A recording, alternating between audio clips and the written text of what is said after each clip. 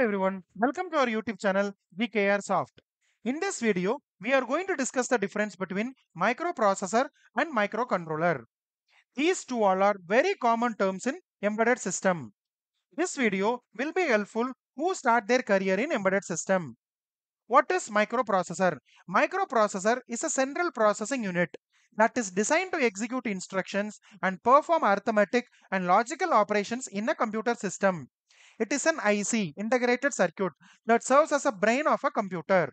The microprocessor are responsible for carrying out the instructions of a computer program by fetching, decoding, and executing them. They are commonly found in personal computers, laptops, smartphones, and various electronic devices. And microprocessor has only CPU. Rest everything need to be connected externally. For an example, memory unit and IO devices, timer, serial peripheral interface, everything need to be connected externally with the microprocessor. And the Intel Core i5, AMD Ryzen, they are the very common and famous processor manufacturer. And the use case for microprocessor is our laptop, that means personal computer, mobile phone, high performance computing devices. All those are the use cases for microprocessor. How microprocessor basically works? It has to perform four operations fetch, decode, execute, and store. Fetch means it will retrieve an instruction from memory. Decode is nothing about interprets the instruction to determine the required operation. Execute means it perform the operation like arithmetic, logic, or data handling. And finally, whatever the execution is done, the same will be right back to the memory or register. So this is the way microprocessor works. Then what is microcontroller? Microcontroller sometimes is called as SOC, system on chip. It has all the internal section. For an example, it has CPU, it has ROM, RAM, all memory unit, it has timers, it will have the serial ports, all everything will be there as part of in a single chip.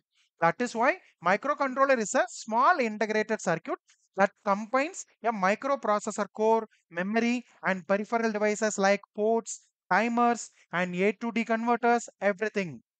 Particularly, microcontroller is designed to perform specific tasks and control function in embedded system. The common use case in for microcontroller is electronic devices like home appliances, automotive systems, industrial machinery, and consumer electronics.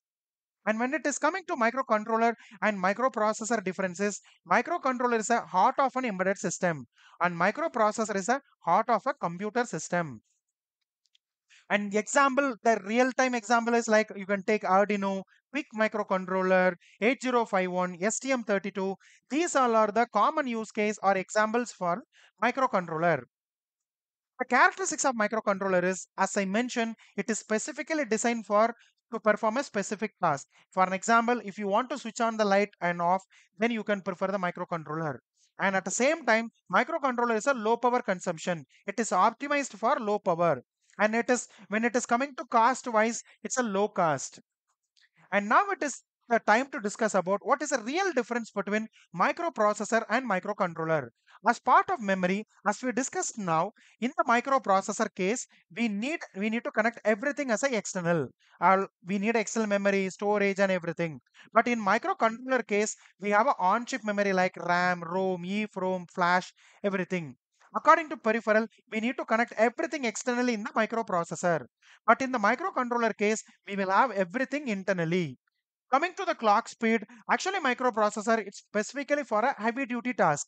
That is why microprocessor is preferred for the multitasking. But it, when it is coming to microcontroller, it is efficient for a specific task. When it is coming to power consumption, microprocessor have a high power consumption. But in microcontroller, it is for low power consumption. When it is coming to connectivity, it handle high speed transfer. But microcontroller supports low to moderate speed communication like I2C, SPI, and UART. And when it is coming to operating system perspective, it will need a full-fledged OS, for an example, Linux, Windows. But in this microcontroller, it's optional. It's no OS or lightweight RTOS.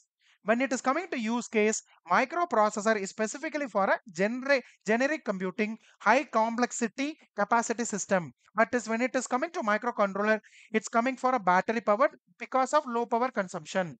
And cost wise, microprocessor is higher cost. but microcontroller is a lower cost one. So based on all these things, how will you decide which one is suitable for uh, your project, whether it is microprocessor or microcontroller?